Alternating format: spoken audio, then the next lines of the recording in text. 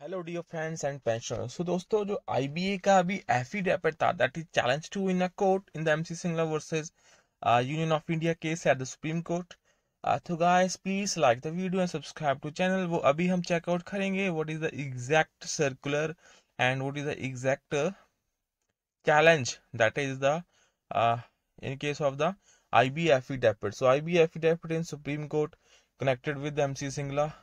case on application of pension whether it will come out within ambit of the contempt of the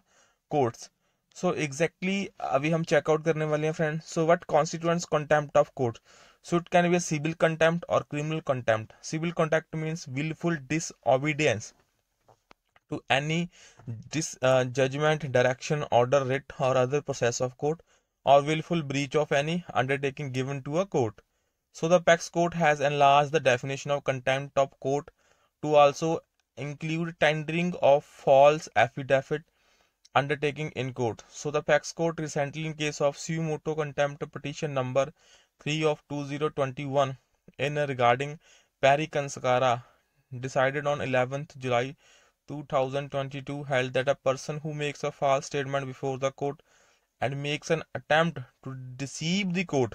or interfere with the administration of justice is guilty वो guilty है friends of contempt of court the apex court in catena of the cases has consistently held the tendering of affidavit and undertaking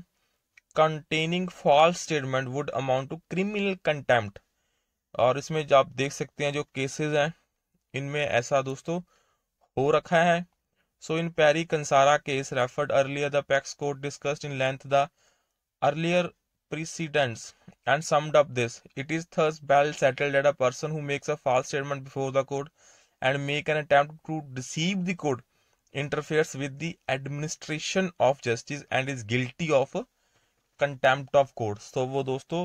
guilty है contempt of court का the extracted portion above clearly shows that in such circumstances the court not only has the inherent power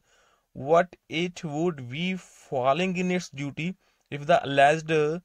contemnor is not dealt with in contempt jurisdiction for abusing the process of the court तो यहाँ पे दोस्तों आप checkout कर सकते हैं अभी contempt of court IBA का जो एफिडेविट था वो था कि नहीं था is imperative that the litigation should not uh, uh, mistake any fact so as to deceive the court to obtain favorable orders not nor should file any false affidavit undertaking else they are bound to attract the ire of the court and liable for prosecution वो liable है uh, for the uh, prosecution for contempt of court में so I affidavit uh, in supreme court that is वो contempt of court है so two major areas coming under the ambit of contempt of courts क्या क्या हैं बिलफुल Disobedience to any judicial direction order writ और other process of the court second है tendering of false affidavit and undertaking in the court and make an attempt to deceive the court to obtain favorable order.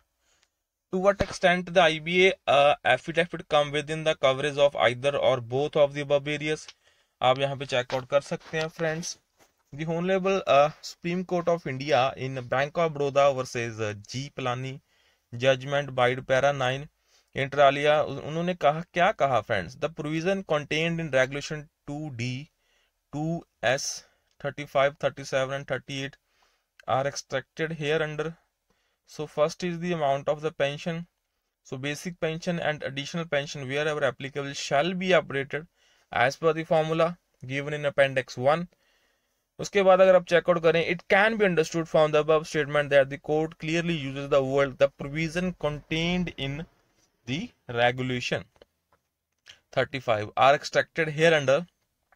and then included regulation 35 1 also among other regulations extracted means taken out which shows that there is a provision for updation of pension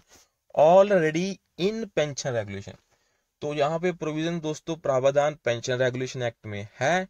That is in B E P R amended so as per as the apex court also has emphatically affirmed the provision for updation of pension in the pension regulation the I B affidavit vide para three point seven mentioning that there is no provision in pension regulation in nineteen ninety five for any updation in the pension of bank employees and officer is not uh, only a willful disobedience to the judicial direction but also amounts to tendering of false affidavit and undertaking in the court and make an attempt to deceive the court to obtain favorable orders तो यहाँ पे आप दोस्तों checkout कर सकते हैं भी ये जो एफिडेविट है वो क्लियरली कंटेम्प्ट ऑफ़ कोर्ट दोस्तों कर रहा है उसके बाद ये फेवरेबल ऑर्डर्स लेने के लिए दोस्तों करा गया है again in the above referred judgment Bank of Baroda versus G Palani the court has quoted and extracted relevant portions from the court three earlier judgment namely तीन जजमेंट्स आई हैं, तीन केसेस हैं अलग अलग the common portion from all these three judgment क्या है? A pension is closely akin to wages in that it consists of payment provided by an employer, is paid in consideration of past service and serves the purpose of helping the recipient meet the expenses of living by equating persons with wages saying that payment provided by an employer in consideration of past service meaning deferred wages and mentioning that the same is meant for the recipient to meet the expenses of living उसके बाद देखिए the implication is nothing but pension updation to happen synchronously with every wage revision तो यहाँ पे आप दोस्तों देख सकते हैं अभी कैसे एक प्रॉपर कंटेम्प्ट ऑफ़ कोर्ट यहाँ पे हुआ है। सो so, यहाँ पे अगर आप देखें it is worth noting that all four Supreme Court judgment there above referred three judgments plus the present judgment in Bank of Baroda versus G Palani consistently and unambiguously voice for updation of pension during the years 71, 83, 97 and 2018. IBA cannot take a stand as being ignorant of these affirmations since almost majority of the member banks were either parties to appeal in the tagged cases ठीक है दोस्तों और respondent further at the time of filing the contempt petition in Supreme Court. Various petitioners to the different tagged appeals have already sent contempt of court notice to all these banks, thereby once again bringing the contents of judgment in Bank of Baroda versus G Plani. तो यहाँ पे आप दोस्तों एक बहुत अच्छा reference मिल जाता है हमें भी कैसा ये कंटेम्प्ट ऑफ़ कोर्ट था तो such being the position how I B A could take a stand against the formation of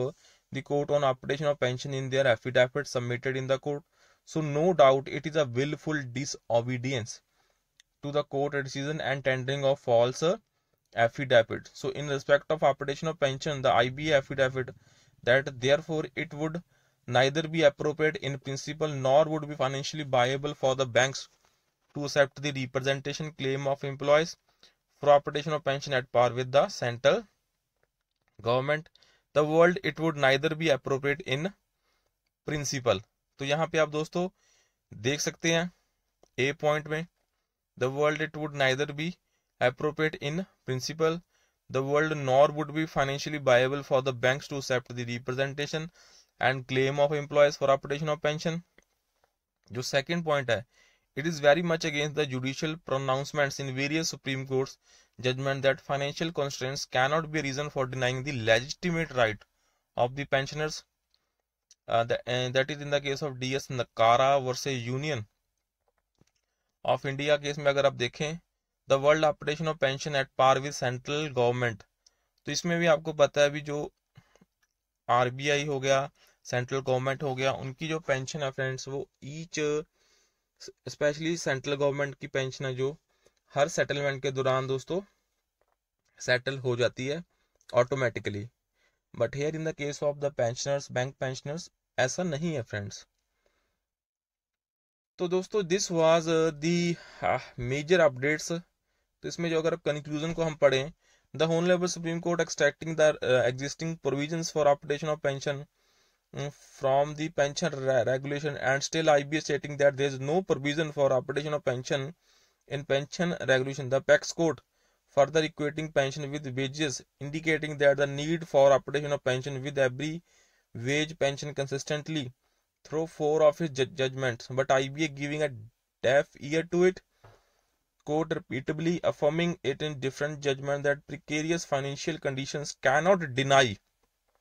वो डिनाई नहीं कर सकता जो लेजिटिमेट राइट्स है पेंशनर्स की and IBA still mentioning the same reason for denying the legitimate right so the court quoting the words from the memorandum of settlement signed between IBA and workmen referring to the pension be broadly on the lines of central government RBI and IBA blatantly distorting the position in the affidavit so IBA despite signing the above referred memorandum wherein agreed to introduce DA and pension on RBI pattern basing on the specific mandate from 58 member banks and still states that they need specific mandates from member banks for agreeing to application of pension. So Bub narrative clearly brings that uh, the IB affidavit submitted in Supreme Court within the ambit of contempt of courts. So no doubts on it.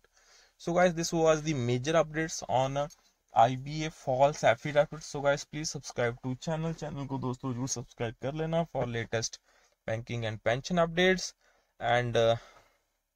that's all for this session thank you for watching please like the video that's all bye bye